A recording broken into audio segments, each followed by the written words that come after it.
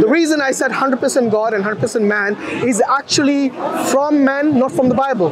You don't see that verse in the Bible, do you? Well, we see the understanding. The understanding comes from the Bible. Ah, you know, earlier you told me don't use your own understanding, Right. use what is in the scripture. No, but But now you're using your own understanding. No, but hold on. What did I say? I said the understanding comes from the Bible. I didn't say I have the understanding. Yeah, but what you quoted, 100% man, 100% God, is not from the Bible. It is from the Bible. Show me which verse is that.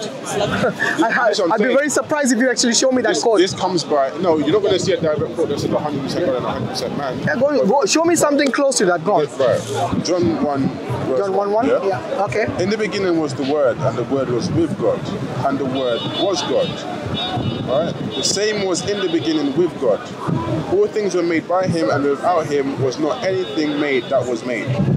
Alright? And this is speaking about. Uh, so where does it say that Jesus is God then? Let's analyze that. When he says in the beginning, mm-hmm. does God have a beginning? In the beginning of all things. That was that's No, no, no. Does God have a beginning? He has no beginning, no end. Thank you very much. So when he says in the beginning, Okay? Yes, the word was with God. It's not talking about the eternal Yes. life. It's talking about the beginning of creation, perhaps. Okay. Yeah. Perhaps. So that doesn't prove that Jesus is God. The whole point of me coming here was to present the understanding to you that God is 100%, I mean, Jesus Christ is 100% God and 100% man. Then, verse 14, yeah, I'm going to finish on this, it says, And the Word was made flesh Yeah. and dwelt among us. Okay. So the Word was God and He became flesh. So oh. He's 100% God and 100% man. No, it's not. You you added the hundred percent. It's not in there. Shall I tell you something? Go and read. he is he 50%? No, no, wait. wait. No, no. I'll, I'll tell you why you're wrong. Okay. The term God doesn't mean God.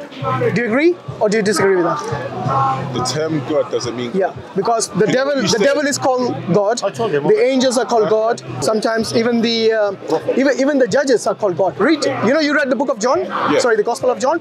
Open John ten thirty four, Is and let's see if somebody else is called God. Is that when He says, Ye, ye are called Yes, are God? yeah. absolutely. Right. So you see, the term God doesn't mean Almighty God.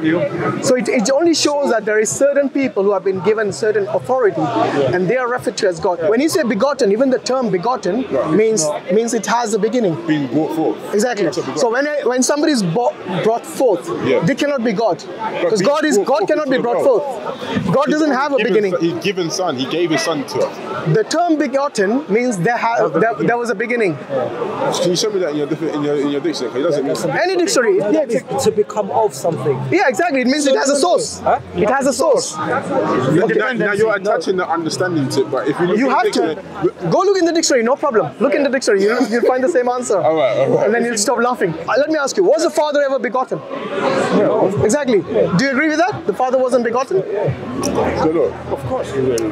Which dictionary are you looking at? what does it say? Yeah, go on. What does it say? read it aloud. Yeah, but I need to. No, no, read it aloud. I need to find the proper. That's a proper one. proper one. Why don't you read it? It says brought into existence Yeah, by exactly. as or by a It- it parent. does He didn't not send his exist only begotten before. son through a whirlwind. Yes. There we go. So, It so never- brought into existence means it didn't exist before, and he was brought into existence. Okay. Yeah, the beginning, start. By the way, do, do you agree with the Only statement? Begotten son. Do you agree with the statement I just made earlier? The Father was never begotten. Yes, you will. Do you agree with that statement? Yeah, of course. Okay. Why shaking your head? Yes or Oh, no? yes, yes. no. Yes, you agree. Was the Son begotten? Yes, he was brought Okay, so what does that mean? When one when one entity, which is a uh-huh. father, is not begotten and the other entity is begotten, it shows that one had a beginning, the other was eternal. Are you with me? I hear what you're saying. Yeah, so it proves again the point that I'm making that Jesus cannot be God if he had a beginning. Because anyone who has a beginning means he's caused by someone, you know? Independent. And we believe that God is the uncaused cause. No one caused him. He always existed eternally.